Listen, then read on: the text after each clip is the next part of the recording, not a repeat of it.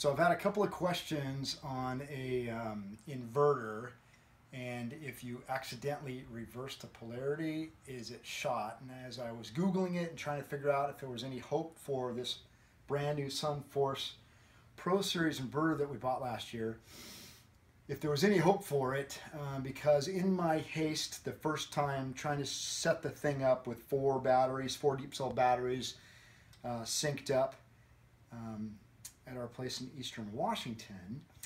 Uh, in my in my hurry to get everything set up and the and the heater set up and the battery bank and the solar panel and the I tapped and reversed the polarities on it and heard a big snap. So I came home, googled it, tried to figure out if there was any way I could salvage this thing, and everything on the internet was telling me to throw it away. That was no good. Um, that if you reverse the polarities on it, you, it was shot uh, in reading the manual on it, reading all the warning stickers, indicated you just chuck the thing. And you know, I paid two hundred dollars for the thing, and I just didn't feel like uh, that, that was an option. So, what I did and what I'm just gonna show real quick is uh, I opened the unit up.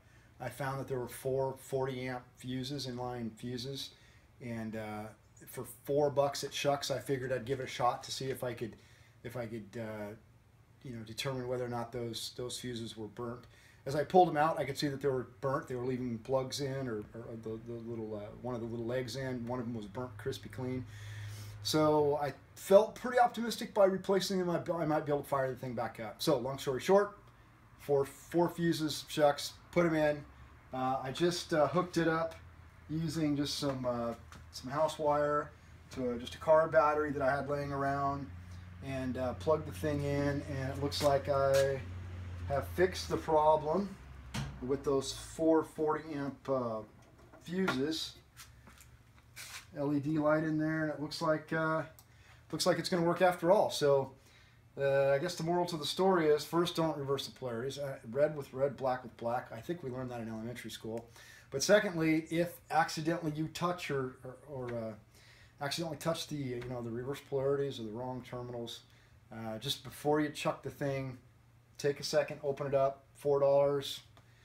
Uh, I was able to fix it. So hope this uh, this helps. Uh, again, in this particular in this particular SunForce Pro Series, there were just a few screws up here, up top. I was able to open up and uh, get right to those fuses.